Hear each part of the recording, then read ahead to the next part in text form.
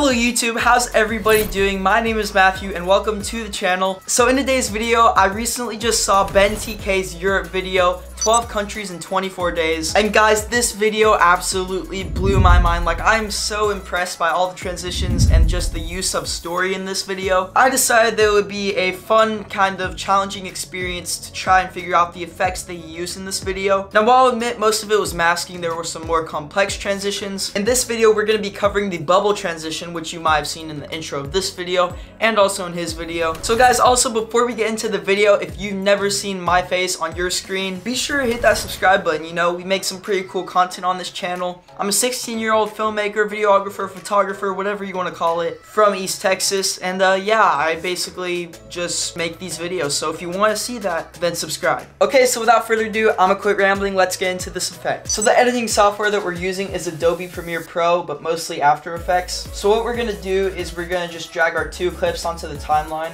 So I'm actually using these two clips. What I did was I cut it up from his video because I don't have any stock footage or footage of my own that would work with this effect. So to make the story flow a little bit more, what you're gonna want to have is like an actual bubble shot. So if we watch this, you can see there's a bubble shot. I'm actually gonna cut this clip just so it's a little bit more accurate. Really quickly, I'm just gonna pre-render this so it plays a little bit faster just so we can get that kind of effect that we're going for. So after I have my clips on timeline, I'm to highlight all of them and right click on the footage. We're to choose replace with After Effects composition. So now this is to take us into After Effects and we can start working the After Effects magic. Now for the purpose of this video, because OBS kind of slows down my computer, which is the recording software, I'm just going to make this maybe like a third or a quarter of the quality that it really is. So as we can see, we're just gonna quickly pre-render this footage and yeah, it's looking pretty good. So the effect that we want to use is we're going to go to effects and presets and we're going to look up turbulent displace. We're going to take that effect and we're actually going to drag it onto the footage. We're going to drag it onto this clip right down here. So I'm just going to place that on there.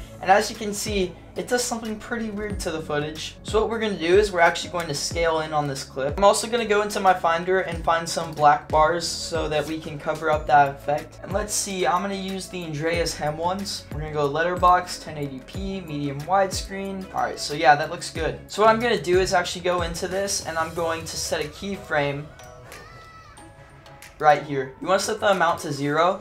So enter in zero and there you go.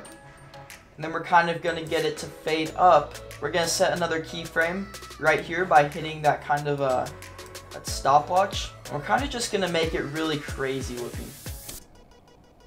And kind of just does that. So now what we're going to do is we're going to go to the other clip, the bubble clip. And you want to select this footage and you just want to drag the turbulent displace on top of it once again. But this time we're actually going to copy this turbulent displace. Now what we're going to do is actually go to this clip now. We're just going to take this turbulent displace on the other clip we're to select that and hit Control C. Now go to your other clip, which is the bubble clip, and hit Control V. And boom, we got the same effect. But now what we want to do is actually set it to zero right here. So we're just to drag this to zero.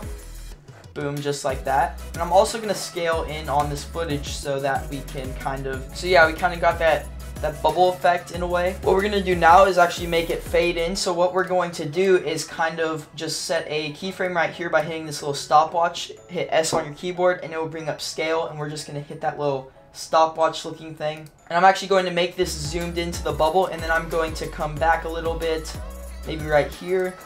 And I'm going to zoom out like so. That will look like this, so it's zooming out of the bubble, but we want to make that smoother, so we're going to select both of these keyframes. Right click on them, go to keyframe assistant, and go to easy ease. Once you do that, go to your graph editor over here, and we're going to hit on the dots, and we're going to hold shift on our keyboard while dragging these to the opposite direction. Just like so, we're going to disable the graph editor by hitting this, and boom. As you can see, very smooth.